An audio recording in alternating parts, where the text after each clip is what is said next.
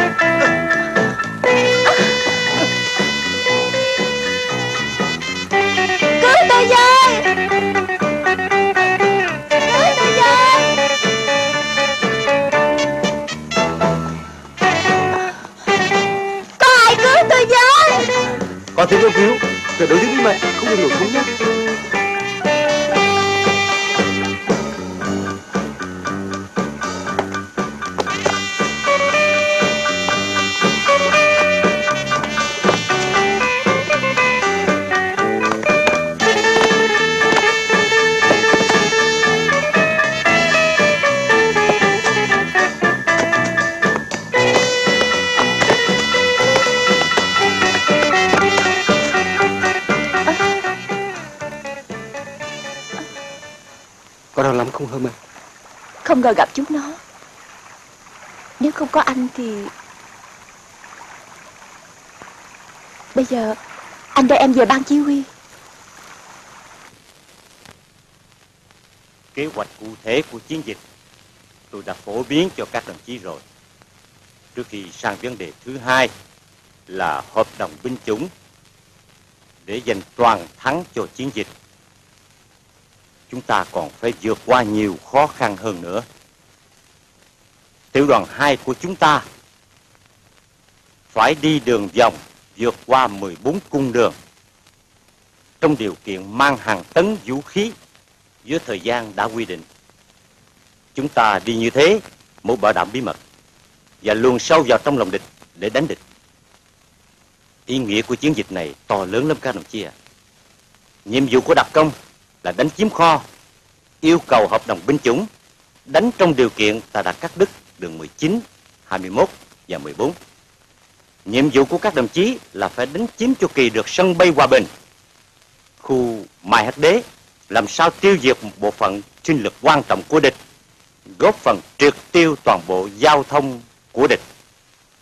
Thay mặt Bộ Tư lệnh binh chủng, tôi xin chúc các đồng chí chiến thắng và tôi xin giao giao nhiệm vụ và trao cờ quyết thắng cho đồng chí Hồng, mũi chính, mũi chủ yếu của chiến dịch.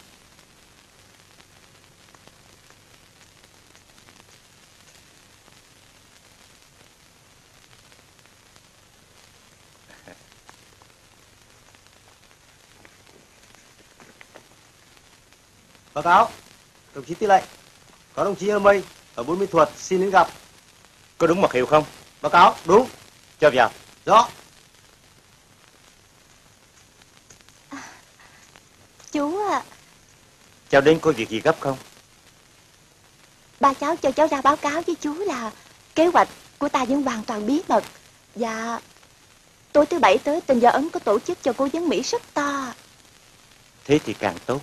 Võ Ấn là một tên gian ác. Ta phải bắt nó đền tội trong chiến dịch này. Cháu cần nghỉ ngơi một chút. Cơm nước xong, chú sẽ cho người đưa cháu về. Chú ơi Cháu không về được đâu chú à Ừ? Thằng Võ Ấn cho người Bắt cháu tối thứ bảy này Phải đến nhảy múa cho thằng cố vấn Mỹ coi Nó cho người theo cháu Định bắt cháu đấy May có đồng chí Hồng Và mấy anh em mình đến cứu kịp Nếu không gặp Ừ, cháu có dám ngồi xe tăng không? Chú giao việc gì cháu cũng làm được. Thế thì tốt rồi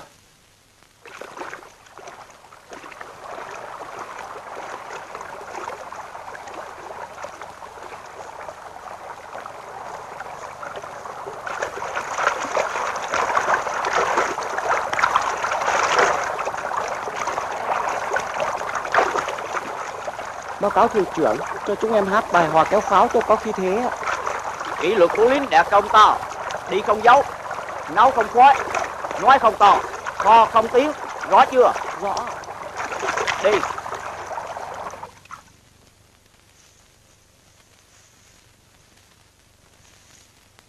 I want to listen, Miss Lily. Ồ, Lily. Thưa quý vị, ông có vấn muốn nghe ca sĩ Lily hát. Cô Lily, xin mời. dù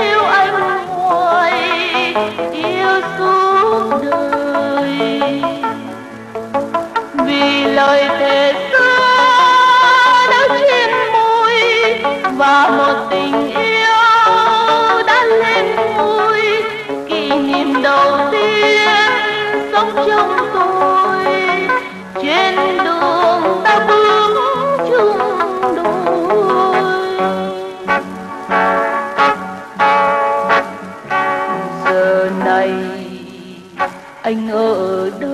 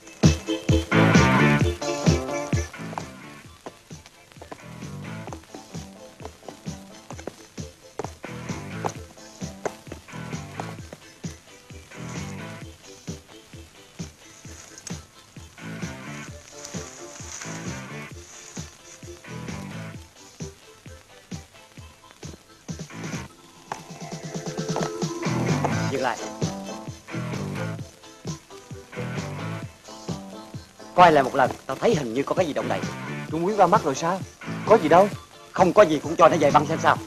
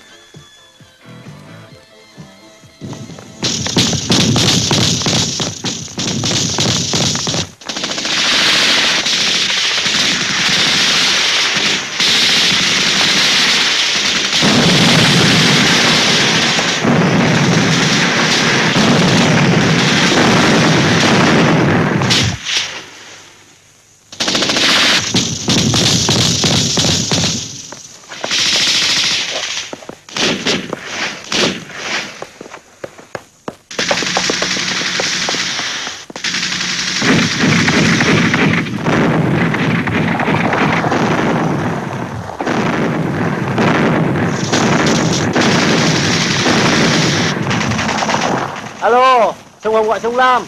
Sông Hồng gọi sông Lam. Nghe rõ chưa trả lời? Nghe rõ chưa trả lời? Nghe rõ chưa trả lời? Có rồi. Sông Lam có chưa? À, chiến đó hả? Đánh như thế là tốt. Đồng chí kịp thời động viên anh em. Không được chủ quan, phải kiên quyết tiêu diệt hai e hậu cứ của địch. Đồng chí nghe rõ chưa? Báo cáo tư lệnh, không thể địch phản ứng trả đũa. Phải sẵn sàng đợi địch phản kích. Phải khống chế sân bay. Không cho máy bay lên xuống Báo cáo tư lệnh, rõ.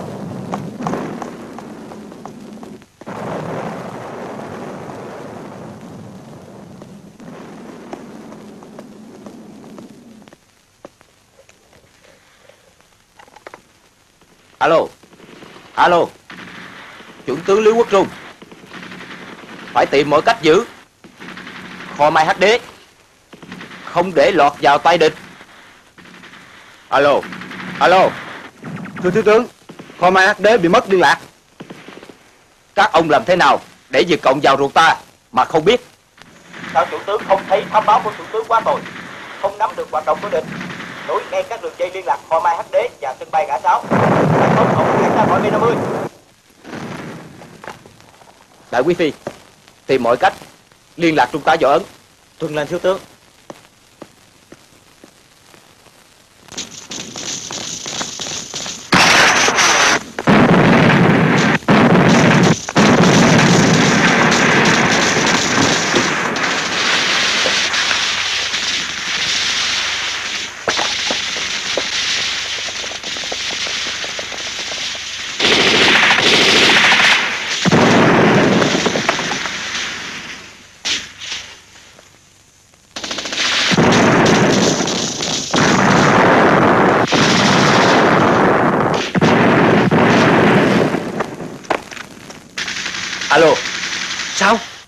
Chưa chiếm được à? Hả? Xin quanh tạc. Quanh tạc vô đâu? Vô đầu thiếu tá hay vô đầu tôi? Thiếu tá không hiểu rằng Giữa ta và địch, Hai bên trong lúc này đang ở thế gia báo à? Nếu thiếu tá bất lực Trước bọn đặc công cộng sản, Thì tôi Tôi trực tiếp Chỉ huy Chỉ huy thay thiếu tá. Thiếu tá rõ chưa? Trung úy Trung úy theo tôi. Tiêu diệt hết bọn đàn công cộng sản tụi bay quay lại quay lại không tâm bắn bỏ. Chạy đâu chạy đâu đi lên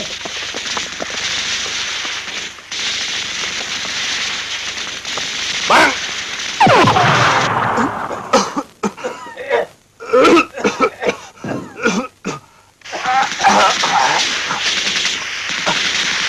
bắn Chúng có đàn hoa học Anh em lấy nước tiểu đắp lên mặt.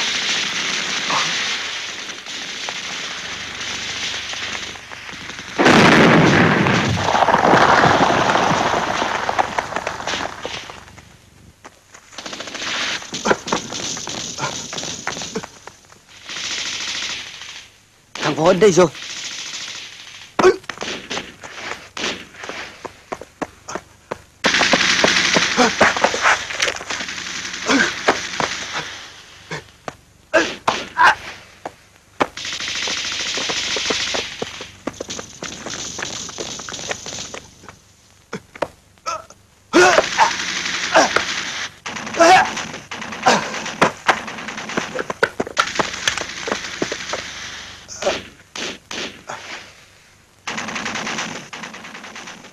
Hỏi các anh em, tôi còn chai rượu cuối cùng.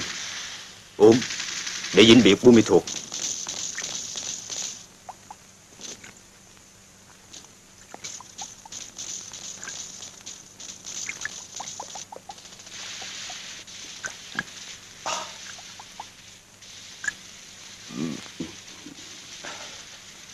Ông già già tôi nói đúng.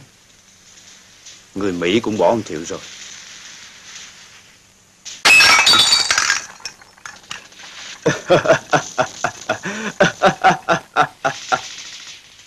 Tôi đã đề nghị phía trên cho tất cả súng lớn bắn dồn dập đè đầu chúng xuống.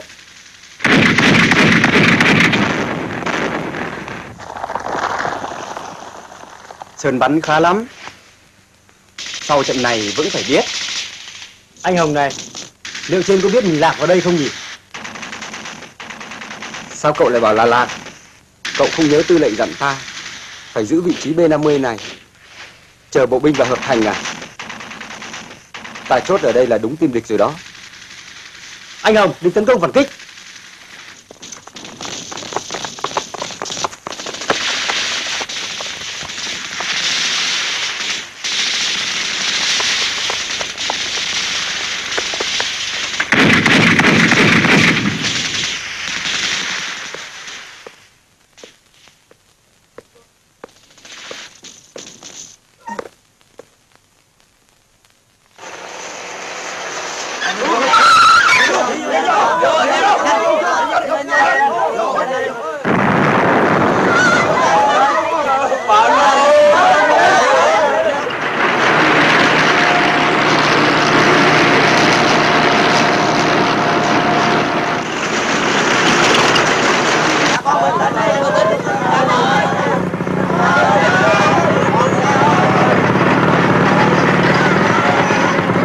trật tự bà con ta trật tự.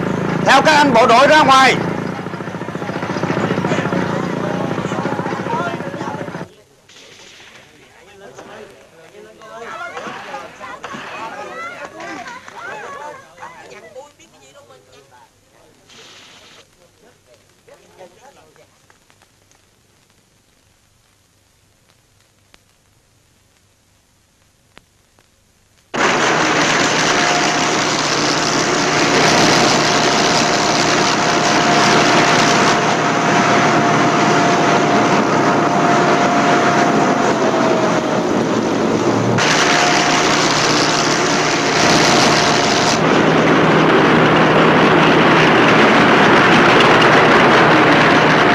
Alo alo Bà con ta hãy bình tĩnh Quân đội chào giải phóng Buôn Mê Thuột Quân đội ngụy lẻ tẻ còn ngoan cố chống lại. Các binh sĩ và lực lượng cảnh sát Hãy trở về với tổ quốc sẽ được khoan hồng. Những kẻ nào ngoan cố chống lại sẽ bị trừng trị. Nhiệt liệt chào mừng quỹ ban quân quản Buôn Mê Thuột Nhiệt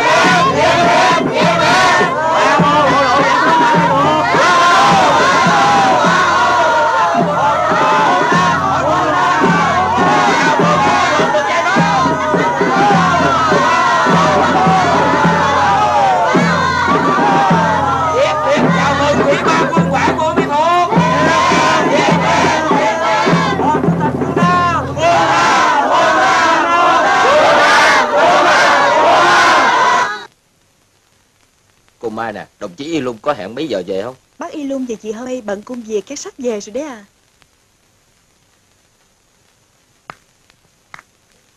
Xin lỗi các đồng chí, tôi còn phải đợi cụ Y Block để xin chỉ thị. Công việc bề bộn lắm. Đến ba đầu sáu tay làm cũng không được. Tôi đã cơm nước gì đâu. Tôi có ý kiến. Các chủ ô tô không chịu chạy, giao thông tắc nghẽn, ta tính sao? Đúng là tin tức rối tinh rối mù cả lên. Công việc của chúng ta ở cái thành phố mới giải phóng này còn nặng nề lắm. Chúng ta phải tính toán, đừng làm cho dân sợ và cũng đừng làm cho dân hoang mang. Nhưng chúng ta phải cảnh giác và kiên quyết trừng trị những kẻ xấu, phao tin đồn nhảm và có hành động phá hoại. Các đồng chí ạ, việc làm cũng phải dần dần thôi. Công việc không phải cùng một lúc, mà làm xong ngay được. Chúng ta cần phải xem công việc nào cần thiết và có ích cho đông đảo nhân dân, thì ta cứ làm trước.